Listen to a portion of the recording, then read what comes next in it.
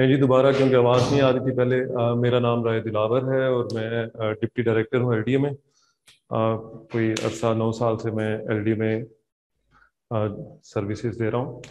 आज हम बेसिकली ये डिमॉन्स्ट्रेशन एक लेक्चर है जनरल एबिलिटी का और just like common sense general ability जैसे कॉमन सेंस जो है वो कॉमन नहीं है। जनरल एबिलिटी भी हमारे मुल्क में तो कम से कम इतनी जनरली अवेलेबल नहीं है। बहुत से लोगों में चीज़ें प्रॉब्लम को समझने में और उसको सॉल्व करने में बहुत ज़्यादा इश्यूज़ आते हैं स्पेशली मैथमेटिकल एनालिटिकल और इवन जो लफाजी आपकी उन प्रॉब्लम्स में दी गई होती है, हम उनको भी नहीं समझ पाते। तो आज हम बेसिकली जनरल एबिलिटी जो कि सीएसएस में भी आती है पी में उसका कुछ पोर्शन आता है। और उसके अलावा जो आपके बाकी वन पेपर हैं, उसमें कोई बीस नंबर का, किसी में दस का अपनी अपनी ज़रूरत के मुताबिक मुख्तलिफ़ डिपार्टमेंट्स दस से बीस नंबर के दरमियान आपको मैथमेटिकल पोर्शन या एनालिटिकल पोर्शन देते हैं। तो जनरल एबिलिटी बेसिकली होती क्या आपके सामने एक डेटा है, आपने उस डेटे को कलेक्ट करना है एनालाइज करना है, उस डेटे से आपने कुछ कुछ कंक्लूजन निकालनी है। उसे सॉल्व करना है कंक्लूजन्स निकालनी है, ये सारा प्रोसेस जनरल एबिलिटी कहलाता है। अब इश्यूज़ जो हम लोग आमतौर पे फेस करते हैं, जिस वजह से जनरल एबिलिटी हम, ये वो चीज़ है जो डेवलप हमारे साथ, हमारी एजुकेशन में हो जानी चाहिए। लेकिन होती क्यों नहीं है? उसकी कुछ एजुकेशन सिस्टम में भी फ्लॉ है और कुछ फ्लॉ हम में अपने में भी हैं। मेन जो फ्लॉ एक ये आता है, वो ये कि हम उतने ऑब्ज़र्व चीज़ों को नहीं करते ये सारी चीज़ें जो हम पढ़ेंगे इसी सारे लेक्चर में जो ये सेशन होगा, ये सारी चीज़ें आपकी रोज़मर्रा ज़िंदगी में इस्तेमाल होती हैं, आप करते भी हैं। लेकिन जब वो पेपर की सूरत में आपके सामने आती हैं तो फिर आपके लिए मुश्किल हो जाती है। यानी अगर आपको कोई कहे कि लाहौर से आपने शेखुपुरा जाना है और आपकी स्पीड इतनी है और इतने तकरीबन डिस्टेंस है तो आप आराम से बता देंगे यार घंटा सवा घंटा लग जाएगा। लेकिन यही अगर वो सिटी ए से सिटी बी कह देता है तो फिर हमारे लिए मसला बन जाता है। तो ये कुछ चीज़ें हम over the period of this session हम चेक करेंगे कि कहाँ पे चीज़ों को थोड़ा सा ऑब्ज़र्व करके आप आसानी से इनको स्किम कर सकते हैं आसानी से इसको गो थ्रू कर सकते हैं सॉल्व कर सकते हैं। uh, थोड़ा सा पहले मैं ओवरव्यू आपको दे दूँगा कि ये सेशन कैसे चलेगा और इसमें क्या क्या चीज़ें आपको एक्सपेक्ट करनी चाहिए कि ये होंगी। आमतौर पे जो आपके सी एस एस का एग्ज़ाम है उसने जनरल साइंस जो पहले सब्जेक्ट है ई हुआ करता था, उसे कन्वर्ट करके जनरल साइंस एंड एबिलिटी कर दिया 2016 में। तो आपके पास पिछले सात 2016 का पेपर है, उसे लेके 22 तक कोई सात छः सात पेपर हैं जो आपको आइडिया दे देते हैं कि किस तरह के क्वेश्चंस इसमें आते हैं। पहले हम देखते हैं कि ये जो कोर्स हम करवा रहे हैं, इस कोर्स में आपको क्या क्या कितनी देर का होगा, कितने लेक्चर्स होंगे कब कब लेक्चर्स होंगे, ताकि थोड़ा सा आपको ब्रीफ सा एक आइडिया एक ओवरव्यू मिल जाए। ये कोई कोर्स स्ट्रक्चर है थोड़ा सा कि इसमें तकरीबन 12 लेक्चर्स होंगे। हर हफ़्ते में दो लेक्चर्स जो कि सैटरडे संडे प्रेफरेबली होंगे और छः हफ़्ते यानी कि कोई डेढ़ माह का ये एक सेशन है। और इस सेशन के दौरान पहले जो दस पहले आठ जो लेक्चर्स हैं, वो आपके सारे कोर्स कवर करने पे हैं। आखिरी सेकंड लास्ट और लास्ट जो है, उसमें मॉक एग्ज़ाम होंगे और उससे पहले दो सेशन में उन सब चीज़ों की रिवीजन करवाई जाएगी जो हमने पढ़ लिया होगा। तो ये एक छोटा सा ओवरव्यू है कि किस तरीके से ये सेशन चलेंगे। ये स्टडी प्लान है कि पहले लेक्चर में क्या होगा, दूसरे लेक्चर में क्या होगा। आमतौर पे ये लेक्चर तकरीबन डेढ़ घंटे का होगा।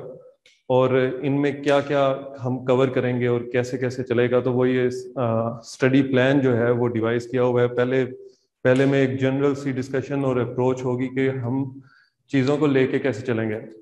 और यूटिलिटी क्या है, इस सारी चीज़ों की जो जनरल एबिलिटी आपको पढ़ाई जाएगी, वो ये तो नहीं सिर्फ़ आपने कोई एग्ज़ाम पास करना है।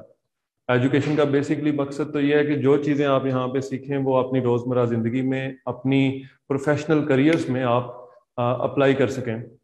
अब for example general science and ability जो है सब्जेक्ट आपको अभी परसेंटेज फ़र्ज़ करें एक आ, आपने कल को आ, कोई ज़िला संभालना है या किसी अच्छी पोस्ट पे जाना है और आपको परसेंटेज क्या ही ना पता हो कि एक परसेंटेज जो है आपने टेन परसेंट इंक्रीज किसी चीज़ में करना है।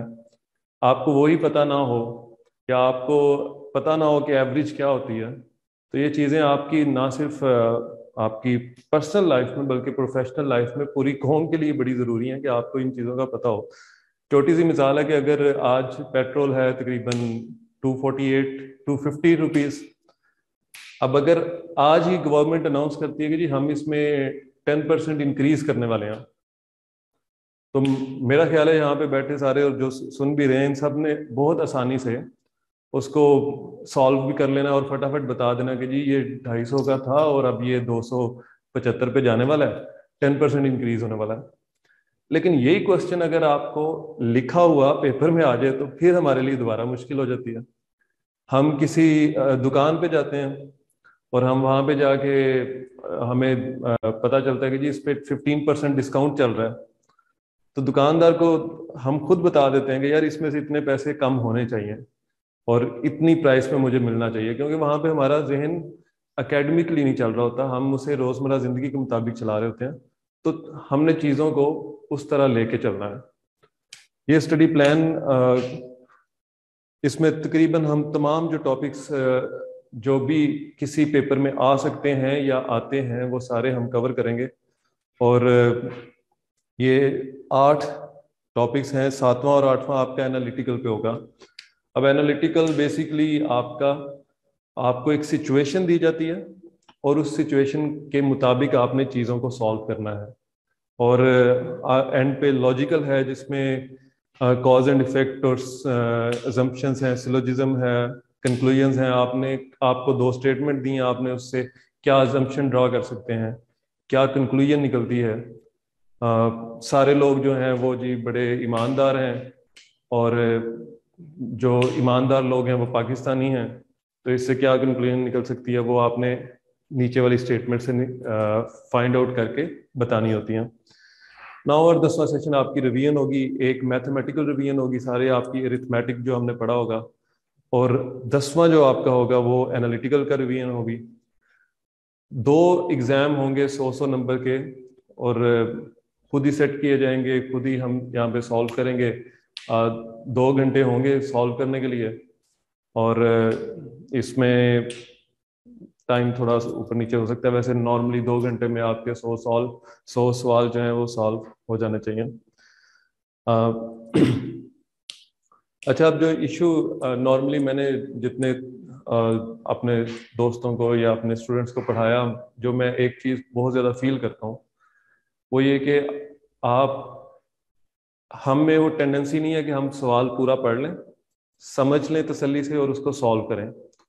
हमें जितनी समझ आती है बात की, हम उतने से शुरू कर देते हैं और ये सिर्फ़ स्टूडेंट्स का मसला नहीं है, हमारी पूरी कौम का मसला है। इवन हमारे सियासतदानों का मसला है कि उनको हाई कोर्ट का ऑर्डर जितना समझ आता है, उतने पे वो मिठाइयाँ बांट लेते हैं और बाद में पता चलता है कि वो उनके अगेंस्ट जा रहा है। तो हमने मेन जो पॉइंट है, वो सवाल को समझना है पहले। अब बड़ी इजी बात है मतलब सारे कहेंगे कि जी सिंपल सी बात है, लेकिन बहुत ज़्यादा मैंने देखा है कि लोग सवाल आधा पढ़ के, अपनी मतलब की समझ निकाल के, जितना जिस तरह का उनको आता है और वो चल पड़ते हैं आगे तो वो काम हमने थोड़ी सी अपनी ओरिएंटेशन थोड़ी सी अप्रोच चेंज करनी है। बेहतर करनी है। चेंज फिर भी न्यूट्रल वर्ड है, और न्यूट्रल सुना आजकल नहीं होना चाहिए तो इम्प्रूव करनी है हमने अपनी। अलजबरा भी इसमें आएगा, क्योंकि अलजबरा इट्स अब मसला यह कि छोटे होते से हमें बताया नहीं गया कि ये चीज़ें जो हम सीख रहे हैं इवन आपके कॉस थीटा टेन थीटा जो हम समझते थे, उनकी प्रैक्टिकल इम्प्लीमेंटेशन आपके पास मौजूद है। अगर वही चीज़ें हम वहाँ पे कर दिया करते या हमसे टीचर करवा लेते तो वो सारी ज़िंदगी याद रहते कि ये चीज़ें आउट ऑफ़ दिस वर्ल्ड नहीं है, ये प्रैक्टिकली हमें हमेशा पता ये लगा कि मैथ जो है या फिर ये इस तरह की जो चीज़ें हैं, वो सिर्फ़ पेपर पे करने वाली हैं। उनका कोई काम अल्टीमेटली है नहीं। और आज आपका टोटल जो कंप्यूटर का सिस्टम डेवलप हुआ, वो दो बुलियन वेरिएबल्स पे वन और ज़ीरो पे डेवलप हो गया। तो इसकी बहुत ज़्यादा इम्प्लीमेंटेशन हैं। इमरान खान साहब का सवाल है और जी मैं जनरल एबिलिटी फ़िलहाल पढ़ाऊँगा। जनरल साइंस जो है वो मेरे पास नहीं है। मैं जनरल एबिलिटी पढ़ाऊँगा आपको, जी। अच्छा सेकंड छोटी सी एक अनाउंसमेंट है, वो ये कि जो जिनका एडीआईबी और चौबीस को पेपर हैं, उनके लिए जो एफपीएससी वगैरह के हैं, उनके लिए एक स्पेशल सेशन रखा जाएगा, क्योंकि ये डेढ़ माह का सेशन है, इसमें हम चीज़ों को सी के पॉइंट ऑफ़ व्यू से और जनरल पॉइंट ऑफ़ व्यू से लेके चलेंगे। लेकिन जो आपका असिस्टेंट डायरेक्टर्स के वन पेपर्स है नॉर्मली उनमें एक एक आपके वो एम सी क्यूज आ रहे होते हैं, आपने सॉल्व नहीं करना होता बेसिकली आपने पहुँचना होता है उस पॉइंट तक। तो हम उसको उस तरीके से लेके चलेंगे, उसके लिए अलहदा सेशन हम कंटिन्यूसली कोई दस दिन का एक रख लेंगे, जिसमें पर वीक यानी कि कोई पाँच लेक्चर या चार लेक्चर और वो चौबीस से पहले उसको कवर करेंगे। क्योंकि उसका, उसकी अप्रोच थोड़ी सी डिफरेंट होगी। हम दोनों अप्रोच सीखेंगे दोनों से मुराद है, जितनी भी अप्रोचेस हैं। अप्रोचेस से मुराद ये है कि चीज़ सवाल को आपने सॉल्व किस तरह करना है? कि कान को पकड़ना है, किस साइड से पकड़ना है? कान को पकड़ना है जिस तरह ढेर सारे तरीके हैं, एक मैथमेटिकल क्वेश्चन को भी सॉल्व करने के काफ़ी तरीके हैं। इस वक्त हम करते हैं एक मिसाल के तौर पे यहाँ पे, चूँकि डिमॉन्स्ट्रेशन क्लास है तो कोई ना कोई तो डेमो होना चाहिए। तो एक हम एनालिटिकल का क्वेश्चन करेंगे। अब एनालिटिकल क्वेश्चन क्या होता है उसको पहले ज़रा समझ लें कि एनालिटिकल है क्या जिसको नॉर्मली एनटीएस में बहुत ज़्यादा आवाम गैट के पेपर में फेल हुआ करती थी क्योंकि एनालिटिकल हमने कभी पढ़े ही नहीं थे और हमें कोई आ, समझ बूझ भी नहीं थी कि इसको करना किस तरह। तो सबसे पहले देखते हैं कि एनालिटिकल होता क्या है उसका पैटर्न क्या है और उसमें एग्जामिनर हमसे चाह क्या रहा होता है। तो एनालिटिकल एबिलिटी वाले क्वेश्चन में, पहला ही पॉइंटर नहीं चला। अच्छा एक आपको ऊपर स्टेटमेंट दी जाएगी कि ये दस पाँच छह लोग हैं, इन्होंने किसी ट्रिप पे जाना है। ये जी कोई एक बंदा है, वो उसने सब्जेक्ट चूज़ करने हैं। जैसे इवन आपने भी सब्जेक्ट चूज़ करने होते हैं। एनालिटिकल एबिलिटी अब मैं क्यों कहता हूँ कि जनरल एबिलिटी हर जगह पे है? सी एस एस की जब आप सब्जेक्ट चूज़ करते हैं तो आपको कहा जाता है कि 200 से ज़्यादा इस 200 नंबर से ज़्यादा इस ग्रुप में से नहीं चूज़ करना। लैंग्वेजेस में से एक चूज़ करना है आपने। टोटल कम्बिनेशन बनाना है आपने 600 का। हम वहाँ पे कर लेते हैं क्योंकि हमें लगता नहीं है कि ये एक सवाल है। हमें एक रियल एवरीडे लाइफ इशू नज़र आ रहा होता है। जब हमें वो इस तरह लिख के दे देता है तो हमें लगता है कि यार अब ये सॉल्व नहीं होना। तो ये एनालिटिकल एबिलिटी भी हम हमेशा से करते आए हैं। इवन जब वो क्वेश्चन आपको आते हैं कि जी फलां ने फलां के साथ नहीं जाना तो इस तरह के सवाल भी आप करते हैं कि जी इवन आपकी जो सिटिंग अरेंजमेंट होती है, उसमें भी हम कहते हैं कि जी, ये बंदा उस बंदे के साथ नहीं बैठ सकता तो इनको थोड़ा सा फासले पे बिठाना है आपने। तो ये सारी चीज़ें आपकी रोज़मर्रा लाइफ में होती हैं ऑब्ज़र्व नहीं की जाती। आप उतने अटेंटिव नहीं होते, और सो टेंशनें होती हैं तो आप उस पर तवज्जो दे नहीं पाते। तो बेसिकली आपको एक आर्ग्यूमेंट ऊपर एक इंफॉर्मेशन दी होती है, जिसमें वो बताता है कि ये पाँच लोग हैं, ये ट्रिप पे जा रहे हैं। इनमें से चार ने जाना है या तीन ने जाना है, लेकिन वो तीन कौन से होंगे? नीचे वो आपको इधर रूल्स बना के देता है। रूल नंबर वन दे देता है कि जी जो दो खातन से ज़्यादा नहीं जा सकती मैक्सिमम टू फीमेल्स जाएँगी। रूल नंबर टू दे देते हैं कि खातून ए खातून सी के साथ नहीं जा सकती, उनकी आपस में बनती नहीं है। रूल थ्री दे देती है कि अगर खातून सी जाएगी तो डी लाजमी जाएगी। इसी तरह फोर वो, अब वो आपको रूल्स बता देता है कि ये आपके पास रूल्स हैं जो आपने फॉलो करने हैं और इनके मुताबिक आगे चलना है। अब होता, इसके बाद वो क्वेश्चन देता है और वो कहता है, जी लेट सपोज़ एक एक ट्रिप पे ए जा रहा है या जा रही है तो बाकी मेंबर्स कौन कौन से होंगे या हो सकते हैं? ये एक जनरल है कि आपको एक स्टेटमेंट दी होगी उसके रूल्स होंगे और उसके नीचे पाँच चार तीन क्वेश्चंस होंगे। अब हम आ, साथ ही एक क्वेश्चन है अवेलेबल इस वक्त जो मैं लेके हम उसको सॉल्व भी करेंगे पहले स्टेटमेंट भी पढ़ेंगे। ठीक है अब ये ये क्वेश्चन है। अब इस इस क्वेश्चन में पहली उसने स्टेटमेंट ऊपर दे दी एक लंबी सी जिसमें इंफॉर्मेशन उसने दी है कि मसला है क्या। नीचे उसने आपको रूल्स दे दिए। हैं और जब हम नेक्स्ट स्लाइड देखेंगे तो नेक्स्ट स्लाइड में फ़र्स्ट क्वेश्चन सेकंड क्वेश्चन और वो थर्ड क्वेश्चन आते जाएँगे। लेकिन पहले इसको पढ़ते हैं और समझने की कोशिश कर रहे हैं कि वो कह क्या रहा है। अच्छा जी। अच्छा जी in order to gain full course credit for his tour of a foreign city Zeeshan must visit exactly seven famous places of interest अभी तक काम की बात हमें कोई भी नहीं आई। जिशान की जगह उमर दराज होता, अकबर होता, कोई फ़र्क नहीं पड़ता ना हमें।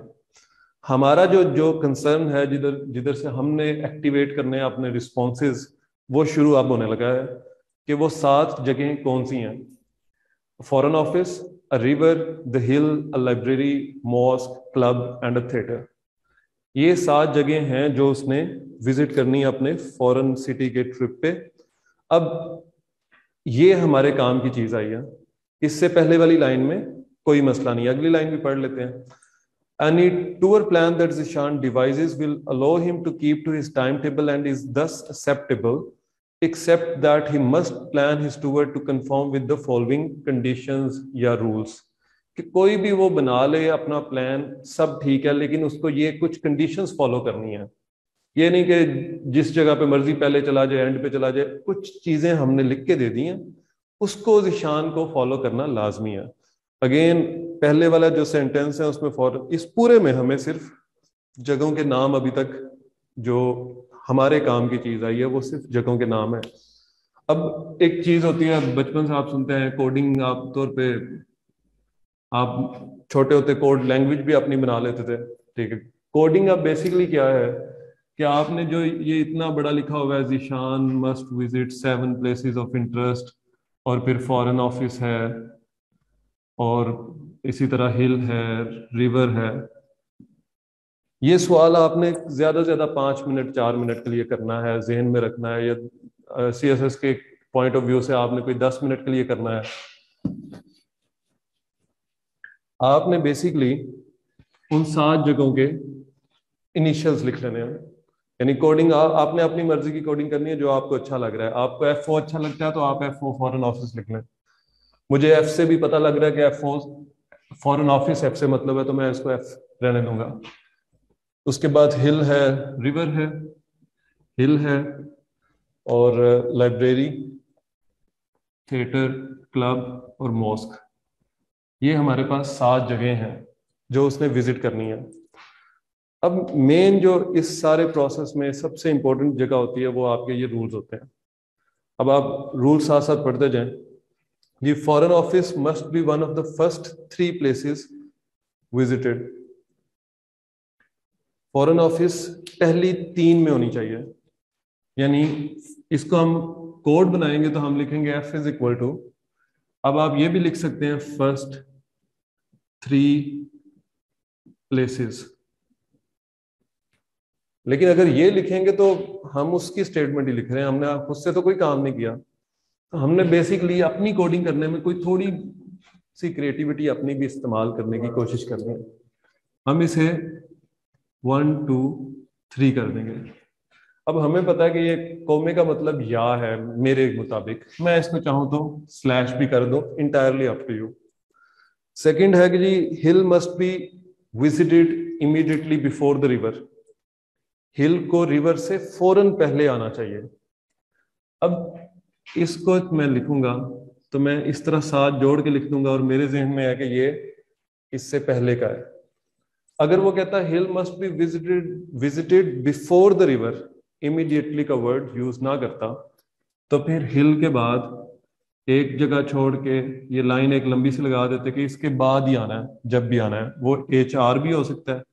वो एज के बाद दो जगह छोड़ के भी हो सकता है, तीन जगह छोड़ के भी हो सकता है। तो जब इमीडिएटली उसने कह दिया तो इसका मतलब है बिल्कुल उसके साथ उसको रहना है चेंज नहीं करना। अच्छा जी। The library can neither be the first can be neither the first nor the last library ना पहली हो सकती है, ना लास्ट अब library is not equal to पहली तो वन होगी। वन एंड सेवन आप इसको लास्ट लिखेंगे तो आपने कोई कमाल नहीं किया। कमाल आपने थोड़ा बहुत तब किया जब आपने टोटल नंबर आपको पता है सेवन है तो आप इसको सेवन लिखेंगे। अगला कह रहे जी the mosque must either be the first और द लास्ट मॉस्क जो है, वो या पहली होगी या आखिरी होगी। या यानी कि अल्लाह के घर से या आपने आगाज़ करना है या इख्ताम आपने उस पर करना है। और क्लब जो है वो आखिरी तीन प्लेसेस में होना चाहिए। Club must be one of the last three places visited अब club is equal to five six seven वो जो इतनी लंबी सी उसने दास्तान लिखी हुई है, हमने उसे थोड़ा सा ब्रीफ कर दिया है। हमें समझ लग रही है कि फॉरेन ऑफ़िस पहली तीन में होनी चाहिए। हिल रिवर के फ़ौरन पहले आना चाहिए। लाइब्रेरी पहली सातवीं नहीं हो सकती। मॉस पहली सातवीं होगी। क्लब पांचवा, छठा या सातवां होगा। अब नॉर्मली इस तरह के केसेस में पहला सवाल वही आ जाता है कि जी, इनमें से कौन सा एक्सेप्टेबल है? ऑर्डर आपको पाँच उसने ऑप्शन दी हुई हैं which of the following is an acceptable order ठीक है जी? हो गया? अच्छा। अब आपने सबसे पहले, पहला रूल उठाना। पहला रूल कह रहा है जी फॉरेन ऑफ़िस पहली तीन में होना चाहिए। और आपने सब पे वो लागू कर देना। है आप ए पे लागू करेंगे तो ए में फॉरेन ऑफ़िस पहले तीन पे है बी में भी पहले तीन पे है सी में भी तीसरे नंबर पे है डी में दूसरे नंबर पे है ई e में आपके आउट ऑफ़ थ्री चला गया यानी ई e जो है, वो आपका नहीं हो सकता। एक्सेप्टेबल ऑर्डर में हमने हमेशा एलिमिनेट करना है। जो ऑप्शंस आपके पास नज़र आ रही हैं, उन सारों को आप बारी बारी ट्राई कर लें। एक रूल ने आपका ई e जो है वो एलिमिनेट करा दिया, ठीक है? अब दूसरा रूल देखते हैं, वो है कि हिल रिवर से फ़ौरन पहले हो। अब ए में देखें हिल के बाद लाइब्रेरी आ रहा है तो आपका ए भी जो है, गलत साबित हो गया। बी में हिल रिवर के बिल्कुल साथ है। बी अभी तक ठीक है। सी में भी उसके साथ है। डी आपका इसकी वजह से उड़ गया, क्योंकि डी के डी में हिल के बाद लाइब्रेरी आ रहा है। इसी तरह, ठीक है। अब तीसरा आपके पास है कि लाइब्रेरी या पहली होनी चाहिए, या पहली सॉरी पहली और आखिरी नहीं हो सकती, ठीक है। Library is not equal to अब आपने ई ए डी तो देखना ही नहीं है ना, वो तो वैसे ही गलत हो गया। सी में लाइब्रेरी पहले नंबर पे, आपका सी भी गलत हो गया। अब टेक्निकली आपका बी जो है, वो सही है, लेकिन बी को हम दोबारा देखते हैं। पहला रूल फॉलो कर रहे हैं। फॉरेन ऑफ़िस पहले तीन में है। हिल और रिवर साथ साथ हैं। लाइब्रेरी आपकी ना पहली है, ना आखिरी है, मॉस्क आपकी आखिरी है, क्लब आखिरी तीन में आ रहा है। तो ये स्कून से आपने चीज़ों को एलिमिनेट किया और आपको आंसर मिल गया। अब ये वाली जो रूल्स हैं आपके, ये सब पे लगेंगे, जो आगे भी क्वेश्चन आएँगे, उन पे भी ये रूल्स लगेंगे। तीन चार क्वेश्चन आते हैं नॉर्मली और अक्सर ये आ जाता है कि जी ए बी से हैवी है। सी डी से हैवी है ए फलाने से हैवी है। आपने बताना है कि वो कौन, एक ऑर्डर आपने बना के देना है कि ए बी से हैवी है सी से। वो आगे डेफिनेटली सेशंस में देखेंगे। फ़िलहाल इस क्वेश्चन का पार्ट टू देखते हैं अच्छा जी, अब वो पार्ट टू में कह रहा है if on is tour Ishan visit the theatre the library and the foreign office one directly after the other in the order given he must visit the river on which number ठीक है। अब उसने कह दिया कि जी, पहले उसने, अब ये ये वाली इसमें भी लगेंगी। पहले थिएटर लाइब्रेरी और फॉरेन ऑफ़िस उसने इकट्ठे विज़िट किए हैं one directly after the other तो इसका मतलब ये है कि ये जिस नंबर पे भी होगा, उससे अगला नंबर लाइब्रेरी का होगा, उससे अगला नंबर होगा फॉरेन ऑफ़िस का। अब फॉरेन ऑफ़िस का रूल है कि जी, ये तीन से बाहर नहीं जा सकता। इसका मतलब है मैक्सिमम ये थ्री ये टू और ये वन होगा। और आगे आपके पास कितनी जगह रह गई हैं? चार। आपका? फॉरेन ऑफ़िस तीन से बाहर नहीं जा सकता था। उसने कहा थिएटर लाइब्रेरी और फॉरेन ऑफ़िस इकट्ठे ही हैं। वन आफ्टर दी अदर है और इसी ऑर्डर में है, ठीक है? वर्ड उसने यूज़ किया इन दी ऑर्डर गिवन अब इधर यही मसला होता है कि हम अक्सर क्योंकि अच्छी खासी इंफॉर्मेशन आ रही होती है, हम कोई ना कोई लफ्स अंदर से मिस कर देते हैं। जैसे अगर हिल से पहले रिवर से फ़ौरन पहले हिल आना है, उसे इमिडिएटली को हम ना इंटरप्रेट करें प्रॉपरली तो हम ये वाला भी गलत कर कर जाते इस पॉइंट पे। तो पहला है कि रूल्स आपके बिल्कुल क्लियर होने चाहिए, आपके अपने लिए भी क्लियर होने चाहिए, ताकि आप अगले क्वेश्चन कर सकें। अब ये क्लियर हो गया कि टी एल एफ़ इस तरह पड़े हुए हैं। इसके बाद वाली चीज़ें हमने देखनी है। वो कहता है जी रिवर किस नंबर पे आ सकता है? पहले तो आप ये देखें मॉस्ट पहले और सातवें पे आनी थी। तो मॉस्क पहले पे नहीं आई तो सातवें पे आएगी। ठीक है? उसके बाद आपका क्लब आना है। क्लब के पास दो जगह हैं, ये फाइव या सिक्स इधर आ सकता है या इधर आ सकता है। दो जगहों पे आ सकता है। अगर इधर आएगा तो हिल और रिवर कहाँ जाएँगे? उनका तो गलत हो जाएगा, जो उन्होंने हमेशा इकट्ठे रहना था और इकट्ठे भी इस तरह के हिल पहले और रिवर बाद में। तो सी हिल और रिवर की वजह से पाँचवें नंबर पे नहीं आ सकता तो क्लब चला गया आपका, छठे नंबर पे। हिल और रिवर पीछे रह गए और वो आर एच नहीं हो सकते, हमेशा एच आर होंगे। तो आपसे उसने पूछा कि हिल सॉरी रिवर कौन से नंबर पे होगा? Must be at this place तो ऑप्शन डी आ गई आपकी, इस पोजीशन पे होगा। अगला जी, तीसरा question if Zeeshan begins his tour है, यहाँ पे हिम लिखा हुआ है।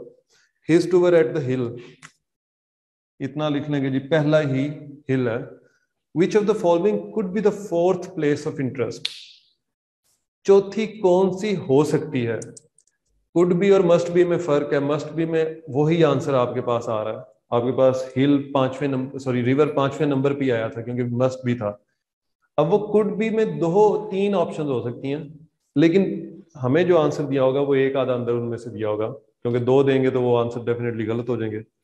अब हिल पहले नंबर पे है। तो रूल क्या कहता है कि हिल के फ़ौरन साथ किसने आना चाहिए? रिवर ने आना है। रिवर आपका फ़ौरन नंबर टू पे आ गया। ये रूल आपका कहता है कि फॉरेन ऑफ़िस आपका पहले तीन में होना चाहिए।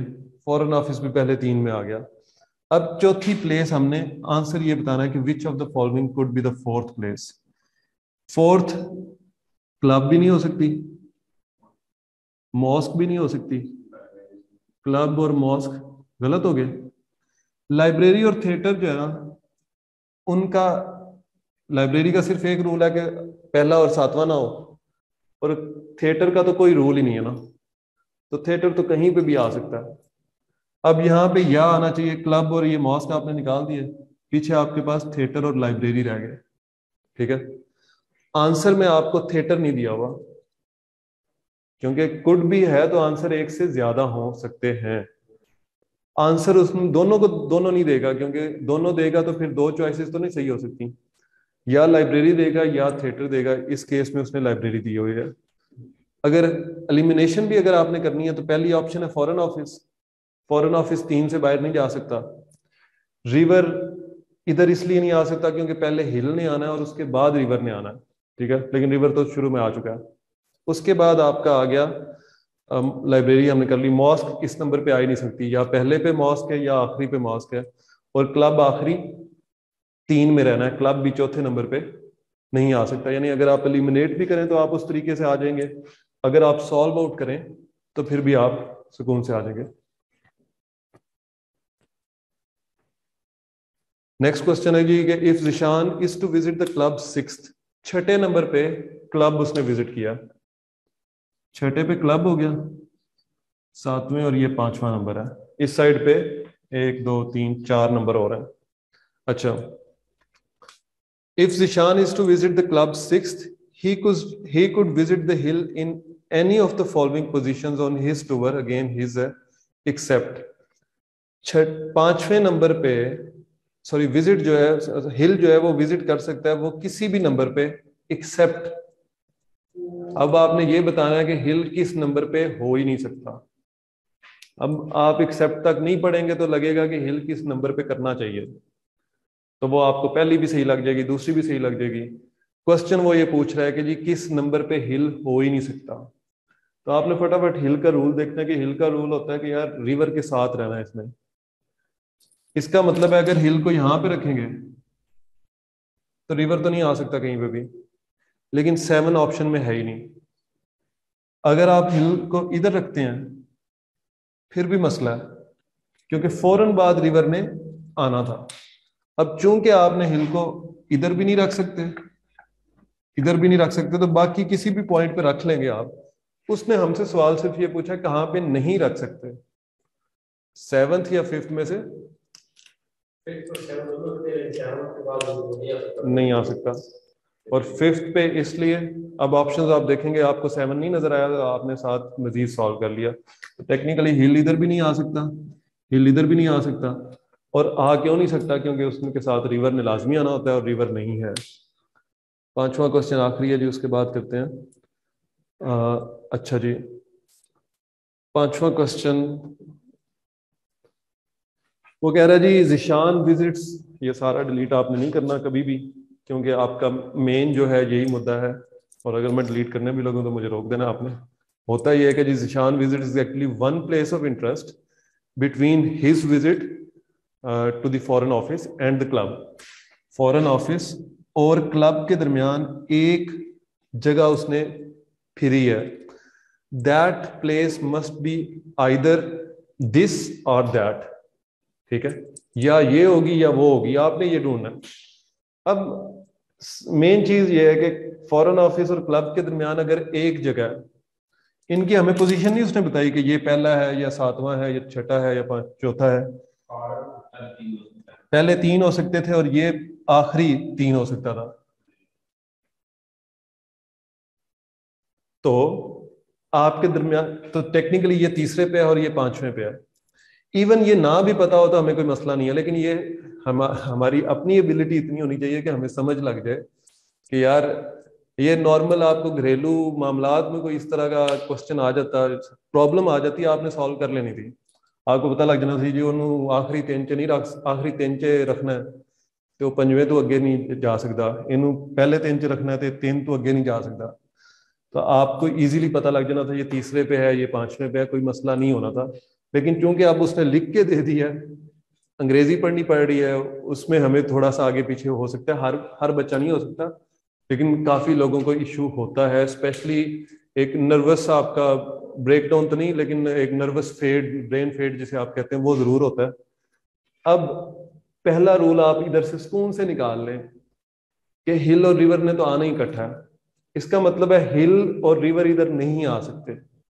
अगर ये हमें ना भी पता होता कि ये तीसरा और पांचवा है ना भी पता होता, इतना तो हमें पता है कि ये पहला और सातवां नहीं है, क्योंकि इसके बाद भी एक चीज़ आ रही है और पहले भी एक चीज़ आ रही है तो पहला और सातवां नहीं है। आपका ना इधर हिल आ सकता है, ना रिवर आ सकता है, ये दोनों नहीं आ सकते।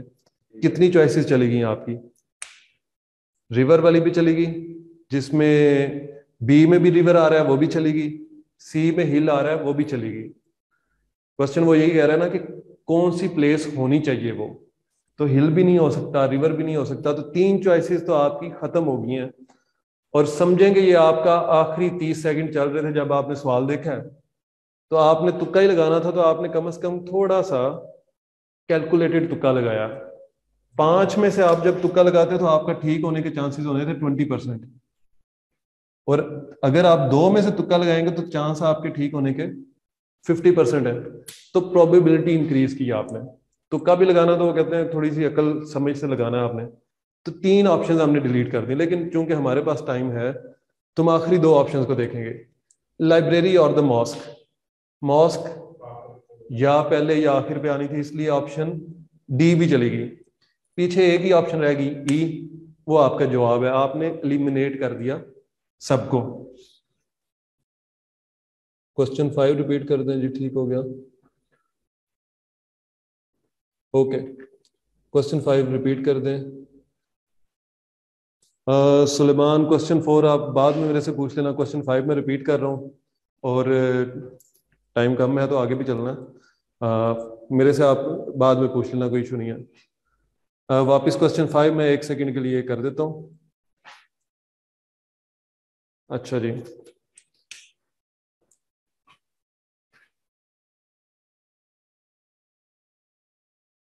ये डेमो लेक्चर ही चल रहा है। अच्छा जी क्वेश्चन फाइव में वो ये कह रहा है कि जिशान एक प्लेस ऑफ़ इंटरेस्ट विज़िट करता है between foreign office and club तो फॉरेन ऑफ़िस और क्लब में अगर एक प्लेस वो विज़िट करता है तो वो कौन सी place must be either this और दैट तो वो हम चेक करते हैं जी, अगर वो सेंटर वाली कोई प्लेस है तो इसका मतलब है वो ना पहली है, ना सातवीं है।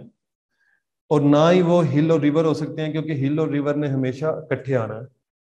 तो आप ये दो चीज़ें जेन में रखें तो आपका पहली तीन ऑप्शन तो हिल और रिवर की वजह से डिलीट हो जाती हैं।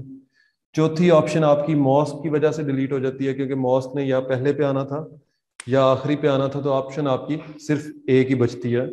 वो है लाइब्रेरी या थिएटर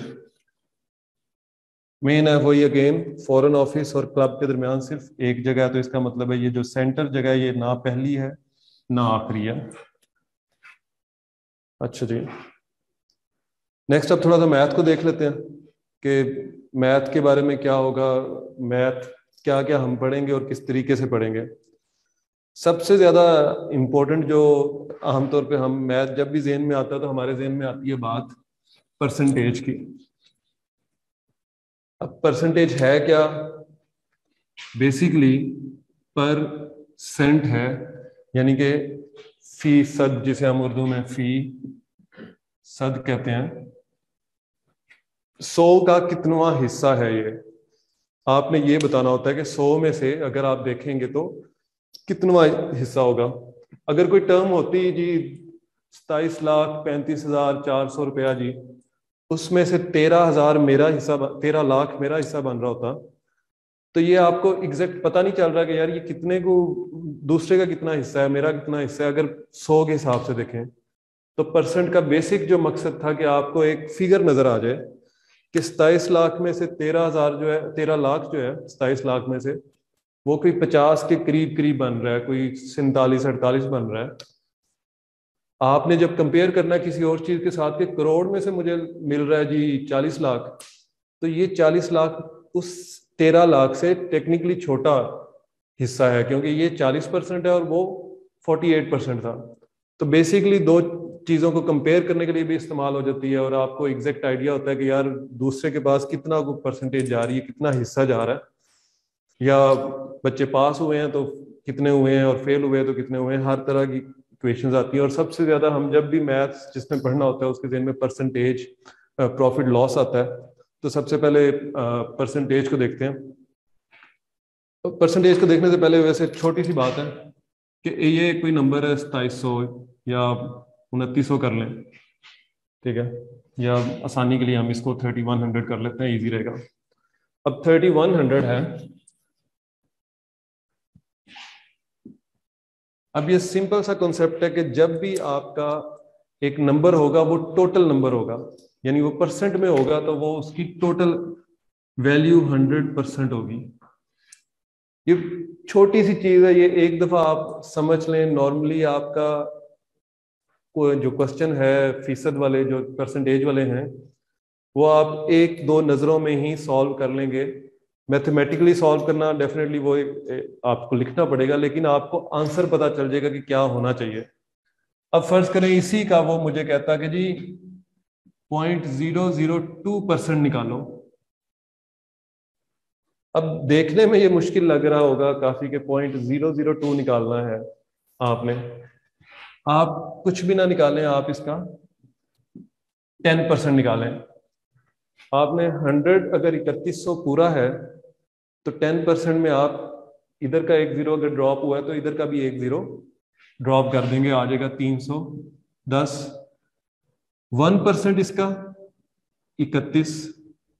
एक और ज़ीरो ड्रॉप हो गया। उसके बाद पॉइंट वन परसेंट इसका एक और ज़ीरो ड्रॉप हो गया। अब डॉट इधर लगा हुआ था। ये डॉट आ गया इस पॉइंट पे। थ्री पॉइंट वन हो गया। एक और ज़ीरो ड्रॉप करते हैं तो ज़ीरो पॉइंट ज़ीरो वन हो गया। इस साइड पे पॉइंट और इस साइड पे आ गया तो इधर आ गया पॉइंट थ्री वन हमें रिक्वायर्ड है डबल ज़ीरो यहाँ पे। तो एक और ज़ीरो ड्रॉप कर दें। तो ये बन गया पॉइंट ज़ीरो थ्री वन अब हमने निकालना असल में पॉइंट ज़ीरो ज़ीरो टू है। पॉइंट ज़ीरो ज़ीरो वन आ चुका है हमारे पास। तो इसको अगर टू से मल्टीप्लाई करते हैं तो ये बन जाता है point zero zero two percent और इसको डबल करना तो मेरा जाती ख्याल है कि सबसे हो जाएगा। तो इकतीस सौ का point zero zero two percent जो है, वो पॉइंट ज़ीरो सिक्स टू है। ठीक है? अब इसको ही अगर वो थ्री परसेंट पूछ रहा होता तो आप तीन से मल्टीप्लाई कर देते और ये तिरानवे आ जाता नाइन्टी थ्री आ जाता। सवाल समझने के लिए चीज़ परसेंटेज को समझने के लिए ज़रूरी है कि एक ज़ीरो ड्रॉप करते जाएँगे, आपके पास सुकून से चीज़ें आती जाएँगी।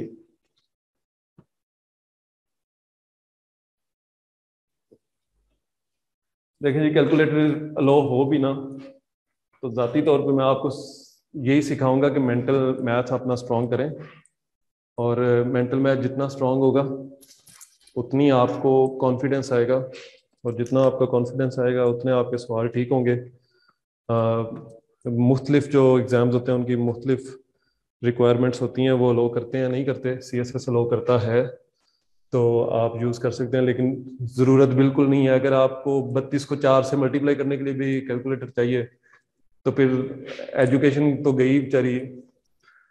तो पॉइंट ये है कि ज़्यादा कोशिश करें कि आप छोटी मोटी कैलकुलेशन ठीक है, अगर अगर आपको कॉस्ट थीटे निकालने पड़ रहे हैं या लॉग निकालने पड़ रहे हैं तो फिर आप यूज़ करें, लेकिन अगर आपको तैतीस को भी चार से मल्टीप्लाई करना है या पाँच से मल्टीप्लाई करना है और आप सोच रहे हैं कि यार कैलकुलेटर जब तक नहीं होगा, तब तक नहीं होगा ये सवाल तो फिर मुश्किल काम है। ये सारा मेंटल मैथ और मेंटल मैथ बहुत मज़े की चीज़ है। उसकी एक छोटी सी मिसाल दे देता हूँ, अगर आपने 123 को मल्टीप्लाई करना लेट सपोज़ 11 से तो आप वन और थ्री लिख दें बाहर वाले बाहर लिख दें दोनों। वन प्लस टू होता है थ्री दरमियान में लिख दें टू प्लस थ्री होता है फाइव तो ये आपका आंसर आ जाता है। इस तरह के छोटे छोटे जो ट्रिक्स हैं, वो चलते जाते हैं। दोबारा बता देता हूँ।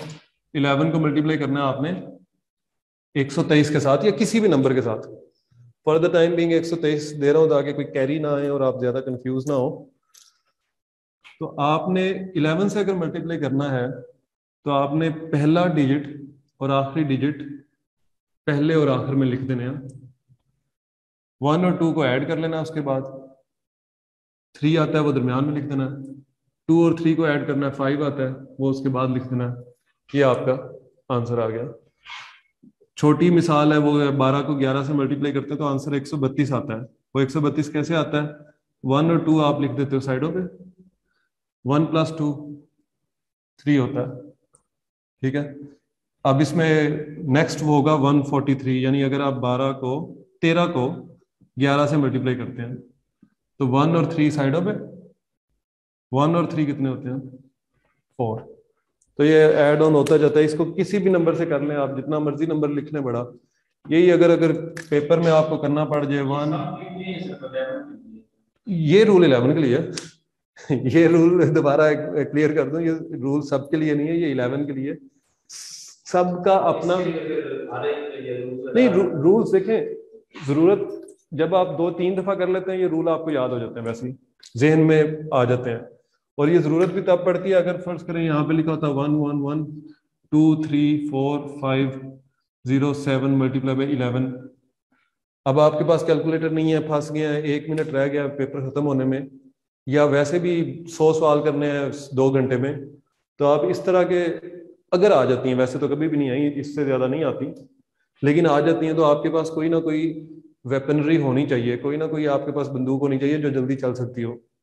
वो पुराने कार्टी जो होंगे, आप लोड करने के बाद एक गोली चला ली आपने, उसके बाद टैंक आपके सर पे आके खड़ा हो गया। तो बेसिकली टेन से मल्टीप्लाई करना सबको पता है। ज़ीरो लगा देने हैं। इलेवन भी आसान है नाइन भी आसान है। काफ़ी ज़्यादा जो है वो आपको रूल्स मिल जाते हैं। रूल्स आपको रस्ते में ज़रूरत जहाँ जहाँ पढ़ेगी, पढ़ाते जाएँगे। द पॉइंट इज़ के आपने वो इम्प्लीमेंट एक, दो दफ़ा करें। मैथ का सबसे अच्छी जो मुझे बात लगती है, ये ये जनरल एबिलिटी की आपने पॉलिटिकल साइंस पढ़ी, आपने लॉ पढ़ा, आपने कोई और सब्जेक्ट पढ़ा साइंस का भी पढ़ा। पेपर के पास जाके आपने दोबारा रिवीजन करनी करनी है उसका, एक हफ़्ता, दस दिन लगाने हैं। मैथ आपको या जनरल एबिलिटी आप पंद्रह, बीस मिनट आधा घंटा घंटा लगा लें, आपका दोबारा से वैसे बन जाता है। तो बेसिक है कि एक दफ़ा आप तमीज़ से अच्छे तरीके से पढ़ लें। ये दसवीं में भी अगर हमने अच्छे तरीके से पढ़ लिया होता, ज़रा उसको इस एंगल से कि यार ये रोज़मर्रा ज़िंदगी में इस्तेमाल हो रहा है, या उसको इम्प्लीमेंट करते रहते तो आज हमें दोबारा भी शायद ना पढ़ना पड़ता। तो मेन जो मैथ और सेकंड इसकी जो अच्छी बात है कि अगर आपको आता है तो ये पूरे नंबर है। इवन अगर आप सीएसएस की बात करें तो कोई सब्जेक्ट आपको इस तरह पूरे नंबर नहीं देगा। इसके अगर आप जवाब सही प्रोसेस सही कर रहे हैं, इसका मेथड सही आपने अप्लाई किया है तो वो बंदा नंबर आपके इस तरह से नहीं काट सकता कि यार मुझे पसंद नहीं आई राइटिंग नहीं पसंद आई, या इसने हेडिंग्स नहीं अच्छी बनाई। तो इसमें नंबर आपके पूरे आते हैं। अच्छा। नेक्स्ट है जी, अब मैथ का कोई क्वेश्चन देख लेते हैं। बेसिकली मैथ का इसी तरह है कि अगर आपका फ़र्ज़ करें जी टोटल नंबर एक दौर में मैट्रिक के 850 हुआ करते थे। 850 होते थे।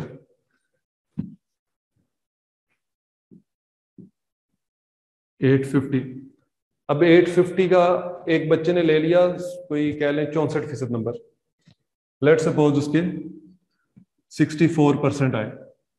आप स्कून से eight fifty is equal to hundred percent हमेशा होल जो है आपका वो हंड्रेड परसेंट है। एज अ होल जब बात करेंगे तो वो पूरी एक इकाई है और फ़ीसद में वो पूरी एक सौ है। इसका टेन परसेंट आ गया, पचासी। ठीक है जी। और इसका वन परसेंट आ गया एट पॉइंट फाइव। ये उस सूरत हाल में है जब हमें सवाल जल्दी भी करने हैं और हमने एम करने हैं। डेफिनेटली जब हम सी एस एस में सॉल्व करेंगे तो पाँच नंबर का सवाल करेंगे तो फिर हम sixty four percent of eight fifty निकालेंगे। इसमें हम तेज़ी दिखा रहे हैं अपनी। अब हमने जाना है सिक्सटी फोर तक। इसका मतलब है अगर इसको सिक्स से मल्टीप्लाई कर दे तो ये सिक्सटी बन जाता है। इजी है। तो एटी फाइव को हम कर देंगे सिक्स से मल्टी सिक्स से मल्टीप्लाई ठीक है? ये thirty plus four eighty five ten हो गया। पाँच को अगर छह से करते हैं तो तीस आता है। और अगर अस्सी को छह से करते हैं तो अड़तालीस और ज़ीरो चार सौ अस्सी आता है। यानी आप पहले आप अस्सी को छः से कर ले, चार सौ अस्सी आ गया। और पाँच को छः से किया, तीस आ गया, पाँच सौ दस आपके आगे। सिक्सटी परसेंट जो है वो इक्वल टू है पाँच सौ दस। पीछे आपने कितना और ऊपर जाना है? Four percent. एक परसेंट साढ़े आठ है। दो परसेंट कितना हो गया? सत्रह। और चार परसेंट चौंतीस। पाँच सौ दस में पाँच सौ चौंतीस सॉरी चौंतीस ऐड करें तो पाँच सौ चौवालीस आ गए। नॉर्मली देखेंगे तो हमें नहीं समझ लगेगी यार चौसठ फ़ीसद ये अब, ये वो प्रोसेस है जो माइंड में आप जब चार, पाँच दफ़ा कर लेंगे तो ये इस तरह लिख के नहीं होगा, ये ऑटोमेटिकली होता जाएगा। यानी अगर आपने अभी सेवेंटी परसेंट निकालना हो तो आपको पता है टेन जो है वो एटी फाइव है, ठीक है? तो सेवन फिफ्टी सिक्स होता है एटी से करें। और ऊपर पैंतीस और ऐड कर देना तो पाँच सौ पचानवे। ये आपका सेवेंटी आ गया। ये ये थोड़ी बहुत ही टेक्निक्स हैं जो आपको सवाल देखते ही साथ साथ सॉल्व होती जाती हैं स्पेशली ये यूज़ होती हैं जब आप जी आर ई जैसे पेपर भी देते हैं या फिर जो पेपर जिनमें आपने टाइम सेव करना है, यानी आपके पास 20 सवाल हैं और 20 मिनट में आपने करने हैं तो आप नहीं लिखने शुरू हो जाएँगे कि 64 परसेंट ऑफ़ 850 आप पूरी स्टेटमेंट्स नहीं लिख रहे होंगे, आप माइंड में उसको क्विकली सॉल्व आउट करते जाएँगे। अब एक क्वेश्चन देख लेते हैं जो कि हमें इधर दिया हुआ है। अच्छा जी। अब ये क्वेश्चन कह रहा है जी batsman score 110 hundred and ten run which included two boundaries and six sixes what percentage of या percent of his total score did he make by running between the wickets अब पहला काम वही करना है कि हमने तसली से सवाल को समझ लेना है और उसके बाद आगे चलना है। बाबर आज़म है बैट्समैन उसने 110 स्कोर बना दी, ठीक है? 110 में उसने दो चौके लगाए हैं और छह छक्के लगाए हैं। दो चौके कितने हो गए? आठ। और छह छक्के आपके छत्तीस। तो चौवालीस स्कोर उसने किया है छक्के चौकों की मदद से। सवाल वो ये कर रहा है कि उसने टोटल स्कोर का रनिंग बिटवीन द विकेट्स कितना किया?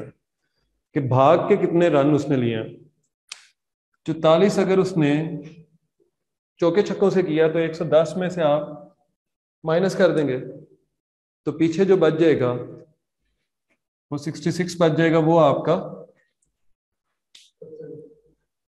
ये ये अभी आ गया हमारे पास स्कोर। कि ये 66 स्कोर उसने भाग के किया है, टोटल में से। टोटल आपका 110 है। अब जब हम सॉल्व करेंगे तो दो तरीके हैं, या तो हम ये 66 निकाल लेते और फिर 110 का कर, देख लेते, या फिर 44 की परसेंटेज निकाल लेते। वो जी, जो भी परसेंटेज आ जाती है, उसको सौ में से माइनस कर लेते। हैं दोनों तरीके सही हैं, दोनों अपनी जगह पे बहुत अच्छे तरीके हैं। अब एक तरीका इसका जो अगर हम अपना वो जो एक चार्ट बनाने वाला तरीका था, उससे करें तो बहुत आसान है। उससे क्या है कि जी 110 है ये आपका 100 परसेंट है। तो आपका टेन परसेंट कितना हुआ? ग्यारह। एक ज़ीरो उधर से ड्रॉप किया, एक ज़ीरो इधर से किया। छियासठ तक आपने जाना है। ग्यारह को किससे मल्टीप्लाई करें तो छियासठ आता है। छ से करें जी। तो अगर इस साइड को छह से किया तो उस साइड को भी छह से कर देंगे। तो सिक्सटी परसेंट जो है, वो छियासठ है। ये तो एक तरीका है जब आपने सॉल्व वैसे करना, लेकिन अब हम समझ रहे हैं कि हम पेपर में बैठे हुए हैं और हमें प्रॉपरली सॉल्व करना पड़ गया। तो उसके लिए जितनी भी परसेंटेज के सवाल हैं, एक इक्वेशन याद रख लें हर परसेंटेज के सवाल पे यही लगेगी। A percent of B is equal to C इतने फ़ीसद ऑफ़ टोटल इतना बनता है, ठीक है? ये आपकी ओरिजिनल अमाउंट है। इस केस में ओरिजिनल आपकी 110 स्कोर है, जिसमें से छियासठ स्कोर उसने किया है by running between the wickets ये भी हो सकता है कि ये ओरिजिनल प्राइस हो किसी सवाल में, कि जिस एक शेयर जड़ी सी वो एक सौ चालीस रुपए दी थी। वन फोर्टी की थी, उसमें से ट्वेंटी परसेंट डिस्काउंट दिया तो नई प्राइस ये निकल रही है एटी परसेंट करके उसे करेंगे। या ट्वेंटी परसेंट डिस्काउंट दिया तो वो डिस्काउंट कितना बन रहा है? एक सौ चालीस का जब ट्वेंटी परसेंट आप करेंगे, वैसे आप करें तो थोड़ा टाइम लगेगा, लेकिन आप टेन परसेंट वाले फार्मूले से कर लें तो आपको पता लग जाएगा, चौदह जमा चौदह, अट्ठाईस होता है ठीक है? तो बेसिक ये एक इक्वेशन है जो हर परसेंटेज के क्वेश्चन में एज इट इज़ यूज़ होगी। आपने तयन करना है मतलब कोई काम आपने भी करना है, सिर्फ़ इक्वेशन नहीं लगानी है। आपने तयन करना है कि परसेंटेज तो आपको पता लग गया कि ये परसेंटेज है, इसका तो मसला नहीं। बी आपकी टोटल अमाउंट है सी आपका रिज़ल्ट है, जो उसके बाद निकल रहा है। अब इस केस में हमने परसेंटेज निकालनी है। किसी केस में आपकी वो ओरिजिनल अमाउंट नहीं देगा कहेगा जी, सिक्सटी परसेंट उसने स्कोर किया जो कि सिक्सटी सिक्स बनता है टोटल स्कोर बताएँ। किसी पॉइंट पे वो आपको ये नहीं बताएगा। तो ए बी सी में से एक चीज़ उड़ा देगा, दो चीज़ें देगा, आपने उसके थ्रू निकालना है। इक्वेशन ठीक हो गया जी इमरान भाई। A percent of B is equal to C equation repeat कर दें। ये आपकी परसेंटेज है। ये एज इट इज़ आएगा, हर जगह पे ये इक्वेशन यूज़ होगी। इसमें से दो वैल्यूज़ दी होगी, एक वैल्यू उड़ी होगी। बी आपकी ओरिजिनल अमाउंट है। अगर वो कहता है एक सौ चालीस रुपए की ये घड़ी थी और इस पे ट्वेंटी परसेंट डिस्काउंट दे दिया तो बताएँ डिस्काउंट कितना है? तो आपने twenty percent of original amount which is one forty is equal to C निकालना है। सॉल्व कर लेंगे सी निकल आएगा। या वो ये कह देता है जी, अट्ठाईस रुपए डिस्काउंट हुआ डिस्काउंट बीस फ़ीसद था तो ओरिजिनल अमाउंट बताएँ। तो आप करेंगे twenty percent of original amount is equal to अट्ठाईस। उसके बाद आप जब सॉल्व करेंगे वो 140 निकल आएगी। या वो तीसरा काम ये कर सकता है, कह सकता है कि ओरिजिनल प्राइस 140 थी, उस पर बीस, अट्ठाईस रुपए का डिस्काउंट दिया गया। तो बताएँ कितने फ़ीसद डिस्काउंट दिया गया। तो आप स्कूल से इसी इक्वेशन में ये चीज़ें पुट करके ए को ए रहने देंगे। और सॉल्व आउट कर लेंगे तो आपकी परसेंटेज आ जाएगी। फॉर द टाइम बीइंग हमारे पास क्वेश्चन था कि जी एक बैट्समैन है, और हमने वो बैट्समैन सोचा कि वो बाबर आज़म है, और उसने 110 स्कोर किया जिसमें से दो चौके और छह छक्के थे विच सम्स अप टू 44 और बाकी स्कोर उसने रनिंग बिटवीन द विकेट किया। तो चौतालीस स्कोर उसने चौके छक्कों से किया। छियासठ स्कोर उसने रनिंग बिटवीन द विकेट किया। तो हमने बताना है कि 66 इज़ व्हाट परसेंटेज ऑफ़ 110 ठीक है? A percent of total total is 110 is equal to जो रिज़ल्ट आया आपका। रिज़ल्ट आ गया 66 अब ए परसेंट का मतलब होता है पर सेंट ऑफ़ का मतलब होता है multiply.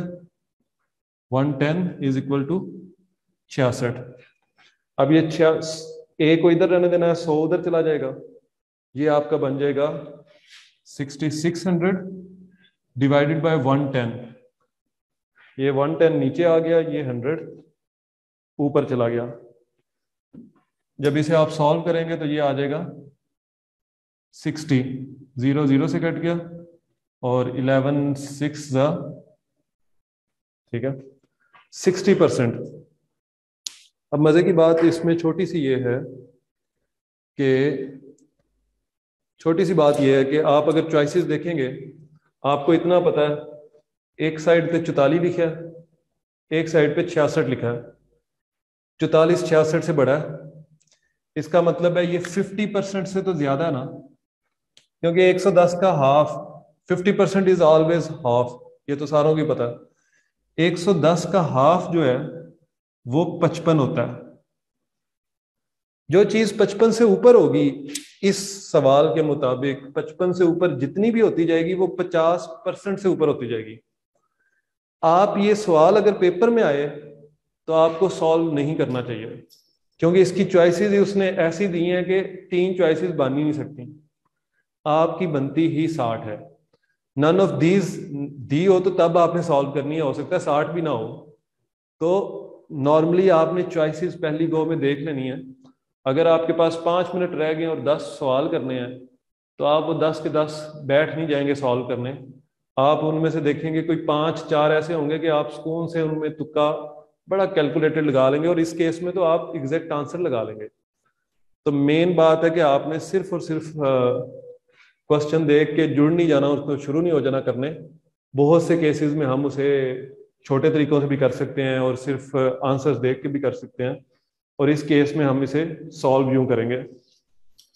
अगला देखें जी मीन आप क्वेश्चन देखें और मैं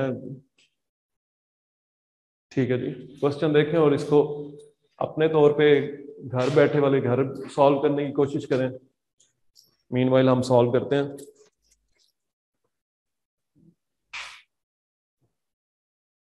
एज क्वेश्चन आ रहे हैं जी। आज डेमो की क्लास में सारे सवाल तो नहीं करा पाऊँगा, लेकिन एज का ज़रूर मैंने रखा हुआ है। अच्छा जी। A fruit seller had some apples कुछ एप्पल्स थे, ये फ्रूट सेलर जो है, अब वो जो भी है, कोई मसला नहीं है।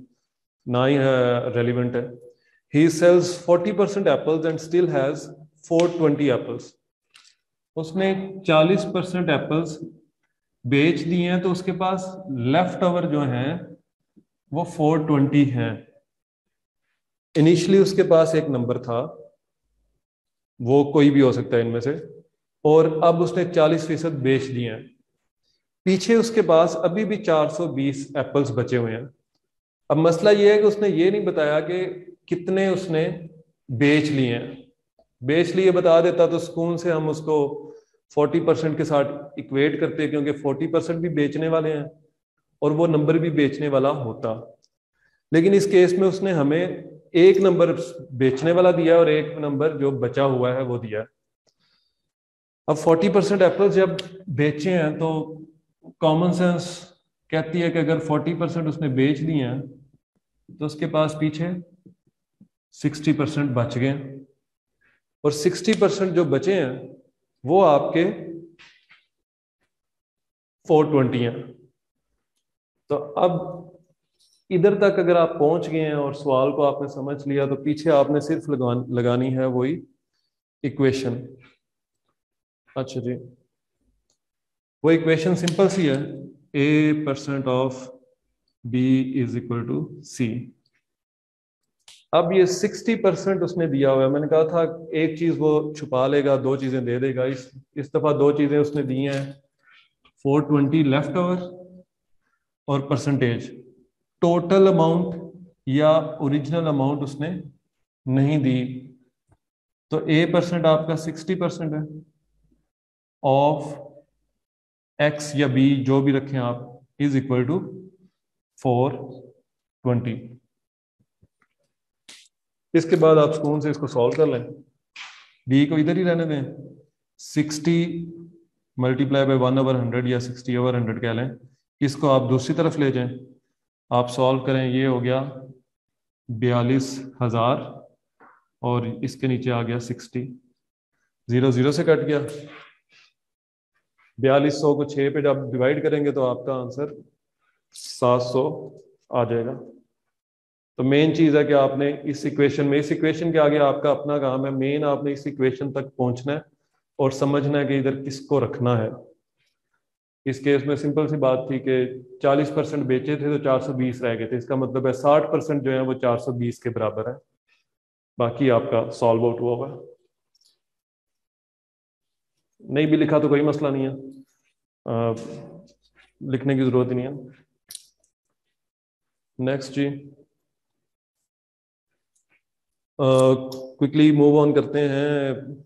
एज वाले सवाल पे जो हमें कहा गया था एक आधा इसमें से ये आखिरी एक कर लेते हैं। इसकी स्क्रीनशॉट किसी ने लेनी है इन दो सवालों की तो वो अपने तौर पे करके सेंड कर सकता है। और इधर भी दे दी जाएगी। इस सवाल को भी रख लें अपने पास। और अब नेक्स्ट ये एक क्वेश्चन कर लेते हैं। अब ये क्वेश्चन कह रहा जी in an election between two candidates one got 45 percent of the total valid votes यानी 45 percent of the total votes नहीं कहा उसने उसने 45 percent of the valid votes कहा है। तो ये वोट बहुत ज़्यादा वोट थे, कितने ज़्यादा वोट थे और उसमें से 20 परसेंट ऑफ़ द वोट्स पर इनवैलिड तो ये कोई 20 परसेंट का जो एरिया ये इनवैलिड हो गया। तो पीछे ये वाला एरिया वैलिड वोट्स है। तो ये अगर 20 है तो पीछे ये टेक्निकली 80 रह गया। अब इस 80 का 45 फ़ीसद उसने लिया। अब वो कह रहा है if the total number of votes was 7500 the number of valid votes that the other candidate got was अब यहाँ पे छोटी सी फिर वही बात है कि आपने स्टेटमेंट बड़े गौर से पढ़नी है, और इसमें स्टेटमेंट की दो चीज़ें हैं। एक स्टेटमेंट है वैलिड और इनवैलिड वोट्स वाली। आपने वैलिड को लहदा रखना है इनवैलिड को लहदा रखना है टोटल वोट्स को लहदा से समझना है। दूसरा एंड पे देखें the number of valid votes the other candidate got वो आपके 45 परसेंट वाले का नहीं पूछ रहा, वो दूसरे बंदे का पूछ रहा है कि दूसरे को कितने मिले। तो दूसरे को मिले तो 55 percent of the valid votes और वो सिंपल सी बात है कि वो 55 percent of the valid votes कैसे मिले, क्योंकि 45 फ़ीसद एक ले गया और शुरू में लिखा हुआ है कि इलेक्शन दो कैंडिडेट्स के दरमियान ही था। तो पचपन इसके आ गए अब मजीद आगे चलते हैं। टोटल वोट्स इसको भी डिलीट कर दें, ये समझने के लिए था। टोटल वोट्स आपके हैं जी। टोटल है seventy five hundred twenty five twenty percent उसमें से इनवैलिड है। तो वैलिड कितने रह गए? एटी या ट्वेंटी पहले निकाल के उसको माइनस कर लेंगे। दोनों सूरतों में कोई मसला नहीं है, दोनों एक्यूरेट है। Twenty percent of seventy five hundred निकालना है आपने इज़ इक्वल टू वॉट तो ये A percent of total is equal to your result वाला फॉर्मूला एज इट इज़ लग गया। तो twenty over hundred multiply by seventy five hundred is equal to your result जो कि यहाँ पे इनवैलिड वोट्स है। ठीक है? अब ये जब सॉल्व आउट करेंगे तो ये आपका ज़ीरो ज़ीरो से कट गया, ये वाला ज़ीरो भी ज़ीरो से कट गया। तो टू इन टू पंद्रह सौ। पंद्रह सौ वोट इनवैलिड हैं। अगर पंद्रह सौ इनवैलिड हैं, पचहत्तर सौ में से अगर ये आज का इलेक्शन ही होता तो आपने फटाफट बता देना था कि ये छह हज़ार, वैसे अभी भी फटाफट ही बता देंगे, छह हज़ार वैलिड वोट्स हैं। ये एक हिस्सा हुआ सवाल का अभी तक। दूसरा हिस्सा जो इंपॉर्टेंट है कि एक को मिले हैं पैंतालीस फ़ीसद इसमें से इसमें से, और दूसरे को फिर मिले पचपन फ़ीसद। हमसे उसने पचपन फ़ीसद वाला पूछा है।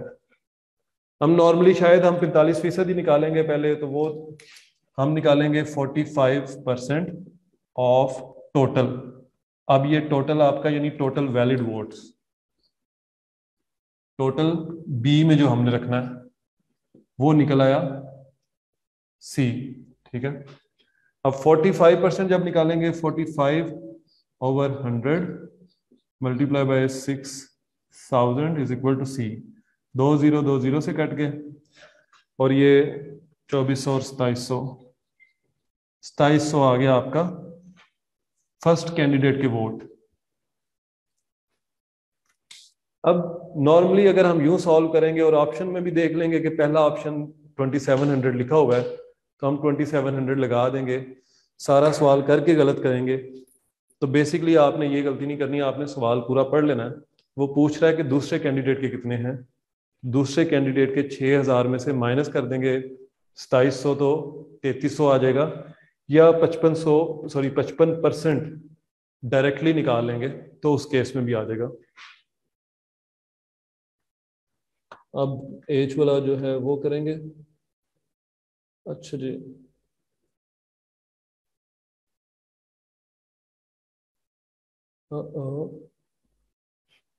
बशीर भाई, एक दफ़ा भी कह दें तो मैं जैसे ही देखूँगा रिपीट कर दूँगा। और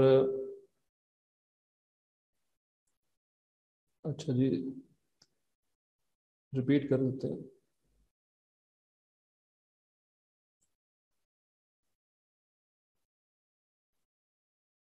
रिकमेंड मैं नईम और वसीम साहब कोई बुक नहीं करूँगा। बुक की बजाय आप अपने गिरदो गिरदोनवा देख लें तो सारी चीज़ें मौजूद हैं। और हो जाएगा सॉल्व आउट सिर्फ़ आपने जो चीज़ें सीखी हुई हैं आज तक उसको इम्प्लीमेंट करने की कोशिश करनी है। आ, बाकी चीज़ें सारी यहाँ पे मौजूद हैं इसी दुनिया में आपके गिरदोनवा में। और ये एज के मुझे क्वेश्चन गए थे अभी किसी ने। तो एज का दो क्वेश्चन कर लेते हैं। दो ही हैं इस वक्त लेकिन ज़्यादा भी करने हो तो वो भी हो जाएँगे। और एंड पे कोई वर्क और टाइम वाला भी एक पड़ा हुआ है, वो भी कर लेते हैं। अच्छा जी।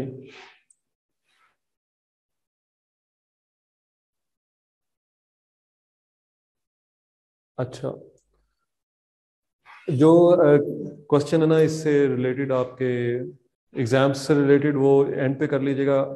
ये वाला क्वेश्चन सॉल्व करते हैं। Sum of ages of five children born at the interval of three years is fifty years पाँच बच्चों की उम्रें, जो कि तीन तीन साल बाद बड़ी मनसूबाबंदी से पैदा हुए, उनकी पचास साल बन रही है सम सम आप सबको पता है कि ऐड करने से जो रिज़ल्ट आएगा, वो सम कहलाता है।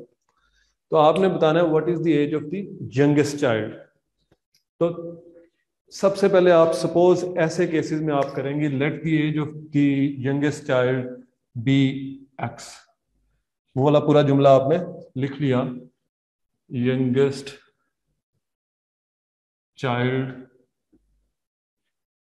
age of youngest child ठीक है जी? वो आपने एक्स सपोज़ कर ली। इसका मतलब है जो बाकी बच्चे हैं, वो एक्स प्लस थ्री होगा, उससे जो तीन साल बड़ा होगा। जो उससे तीन साल बड़ा होगा वो एक्स प्लस सिक्स होगा। जो उससे तीन साल बड़ा होगा वो एक्स प्लस नाइन होगा और जो सबसे बड़ा होगा वो एक्स प्लस ट्वेल्व होगा। तो एक्स अगर आपका ओरिजिनल है और वो सपोज़ कर लेते हैं नौ साल का तो अगला जो है बारह का होगा, नौ जमा तीन बारह। उससे अगला पंद्रह का होगा, नौ जमा छः पंद्रह। फिर अठारह का होगा, नौ जमा नौ अठारह। फिर अठारह के बाद इक्कीस होगा तो नौ जमा बारह इक्कीस।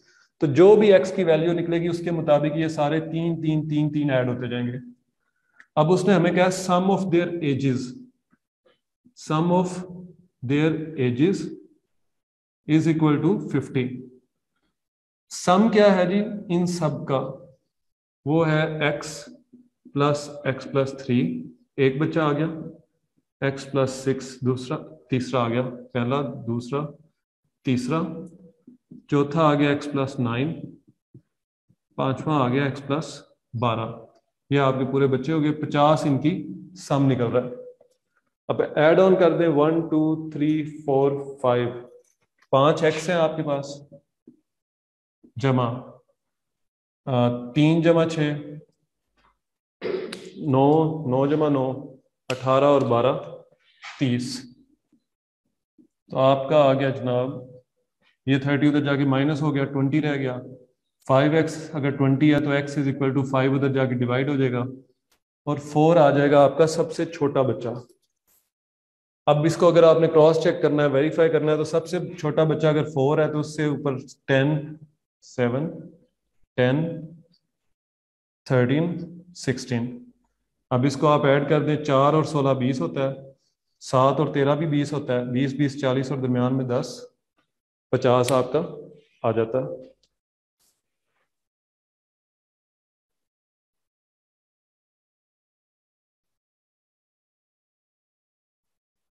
है रेशियो प्रोपोर्शन के इस लेक्चर में नहीं है, लेकिन जो हम कोर्स कवर करेंगे उसमें है। आवाज़ आ रही है अब सबको? रिप्लाई कर दें, क्योंकि किसी ने अभी बोला है कि आवाज़ नहीं आ रही। अच्छा जी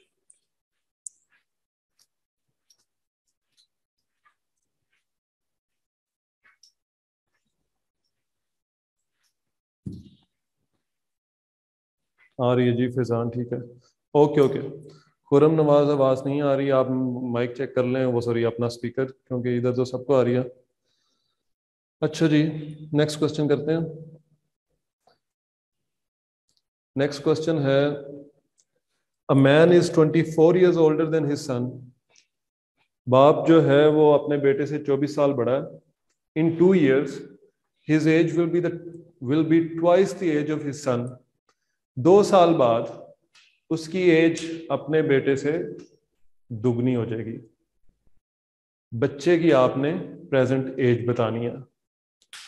अब इसको भी अगर आपने मैथमेटिकली करना है तो उसका एक तरीका है, अगर आपने तुक्के लगाने हैं तो उसका दूसरा बड़ा आसान तरीका है कि आप इसमें से कोई एक वैल्यू उठा लें, बीस उठा लें।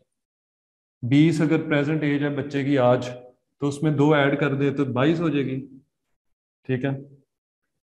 बाईस का डबल करें, बनता है फोर्टी फोर तो बाईस और 44 में 24 का फ़र्क नहीं निकल रहा। इसका मतलब है उसकी उम्र 20 नहीं है आजकल। आप दूसरी वैल्यू उठा लें 22 और 22 अगर आज एज है तो कल एज कल मतलब दो सालों बाद 24 होगी। बाप की दो सालों बाद होगी। डबल उससे 48 तो डिफरेंस भी 24 निकल रहा है। ये तो है डायरेक्ट तरीका अगर आपने सॉल्व आउट करना, लेकिन हम इसे प्रॉपर मेथड से सॉल्व करते हैं।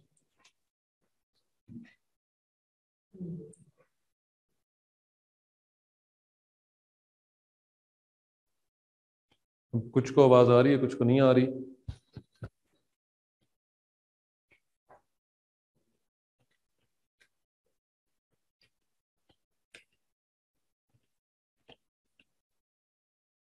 अच्छा जी अच्छा A man is 24 years older than his son. In two years, his age will be twice the age of his uh, son.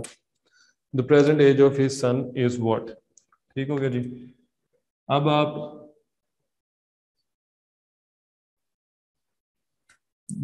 बेटे की एज अगर x है तो बाप की एज यहाँ पे x में 24 जमा करने से आ रही है दो साल बाद बेटे की एज एक्स प्लस टू हो जाएगी।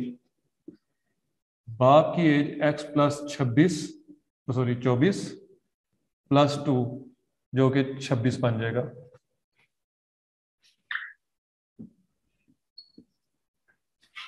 ये आ गई जी आपकी प्रेजेंट एज ये आपकी आ गई after two years after two years ये सन की एज है एक्स प्लस दो, और ये बाप की एज है एक्स प्लस छब्बीस। अब ये एक्स प्लस ट्वेंटी फोर किधर से आया? क्योंकि वो चौबीस साल उससे बड़ा है। अच्छा जी एक्स प्लस टू अब बेटा, बाप जो है वो अपने बेटे से दुगना बड़ा है। जब आप दो चीज़ों को इक्वल करते हैं, जिसमें से एक छोटी होती है, इस वक्त छोटा कौन है? बेटा, बाप बड़ा है। दोनों को इक्वल टू साइन के इधर उधर लाना है तो आप टू को मल्टीप्लाई करेंगे, या जिस चीज़ को भी मल्टीप्लाई करना है आपने, छोटे वाली साइड से, ताकि वो बड़ी होके इक्वल टू के बराबर आ जाए, यानी उसके इक्वल आ जाए। आप हमेशा छोटी साइड को, जैसे अगर आपने छ और तीन को बराबर करना है तो टू किस साइड पर मल्टीप्लाई करेंगे? लेफ़्ट हैंड साइड पे, छोटी साइड पे, ताकि ये इक्वल टू जस्टिफाई हो सके। हमेशा मल्टीप्लाई करेंगे तो आप छोटे वाली साइड पे करेंगे, जमा करेंगे तो छोटे वाली साइड पे करेंगे, लेकिन माइनस करेंगे तो वो बड़ी साइड में से माइनस करेंगे, तब बात बनेगी। लेट सपोज़ इसी तीन और छह में से हमने तीन माइनस करना हो तो इसमें से माइनस करेंगे तो ये तो इक्वल नहीं रहेगा। तो इक्वल तब होगा जब छह में से तीन माइनस करेंगे। आप दुगना करना है आपने, आप सन के साथ टू लगाएँगे। तो two X plus four is equal to X plus छब्बीस। ये एक्स इधर आके माइनस हो जाएगा। अकेला एक्स रह गया, दो एक्स में से एक एक्स निकला। छब्बीस में से चार निकले। बाईस रह गया आपके। बाईस आपने क्या सपोज़ की थी? Present age of son the present age of father was X plus twenty four तो अगर आपने बाप की भी निकालनी हो तो वो छियालीस चौबीस ऐड करने से निकल आएगी।